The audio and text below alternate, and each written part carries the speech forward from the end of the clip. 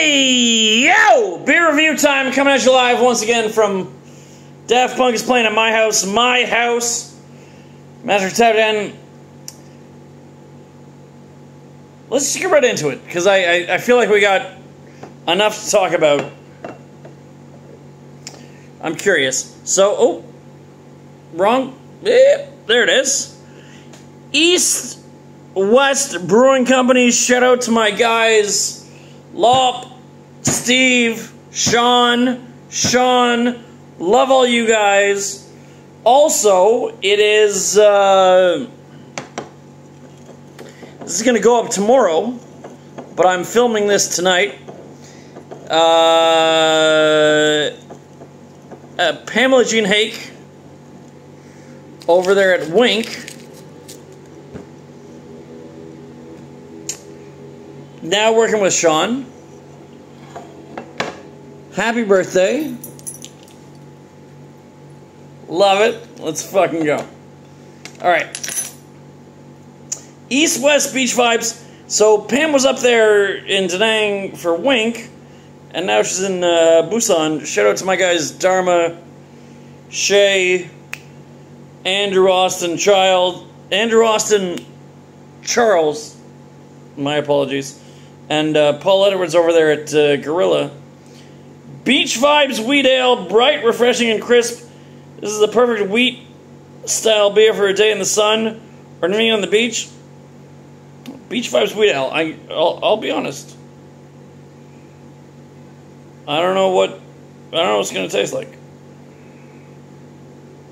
Not much info on the bottle other than that. It's great for the beach.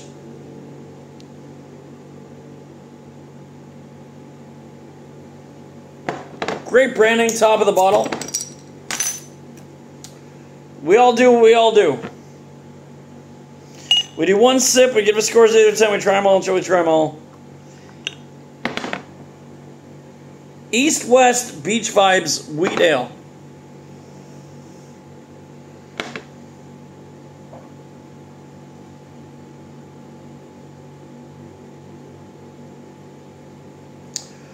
One sip, everybody knows the rules. Try them all.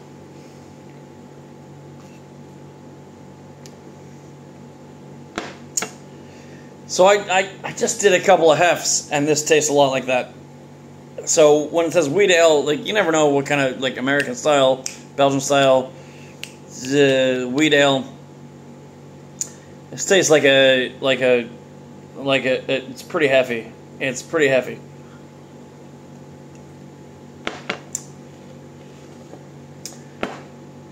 And we have a we have a standard on this uh, channel for hefts, and it's that uh, it's not my favorite style, but it's a it's a very good representation of the style.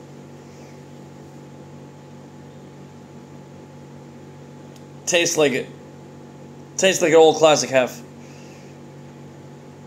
One sip, everyone knows the rules.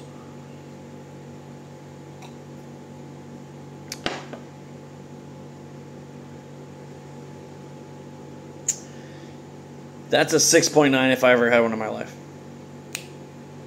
That's a review.